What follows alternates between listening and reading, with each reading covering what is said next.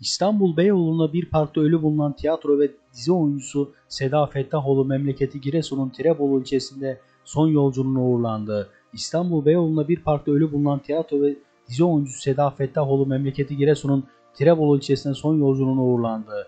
İstanbul'dan memleketi Tirebolu'ya getirilen Fettahoğlu'nun cenazesi kılınan cenaze namazının ardından aile kabristanlığına toprağa verildi.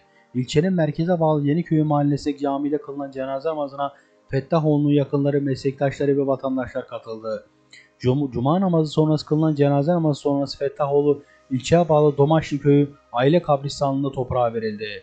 İstanbul'da Gümüşsuyu Ömer Avni Mahallesi 10 Aralık Şehitler Parkı'nda yürüyüş yapan vatandaşlar tarafından silah sesi duyulmasının ardından ihbar üzerine olay yerine sağlık ve polis ekipleri sevk edildi.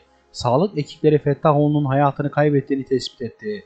Yapılan incelemede Fettahoğlu'nun cesedinin yanına üzeri kayıtlı bulunan üzerine kayıtlı bulundurma ruhsatlı tabanca ile boş kovan bulunmuştu. Bir parkta ölü şekilde bulunan çocuklar duymasını sevilen oyuncularından Seda Fettahoğlu memleketi Giresun'da son yolculuğuna uğurlandı. Ünlü oyuncunun cenaze törenine rol arkadaşlarından kimsenin katılmaması dikkat çekti.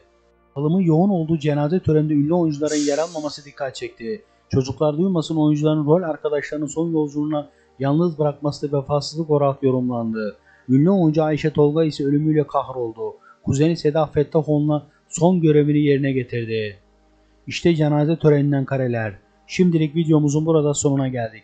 Gündeme dair gelişmelerden anında haberdar olmak istiyorsanız aşağıdan kanalıma abone olup bildirimleri açabilirsiniz. Renkli sayfalar.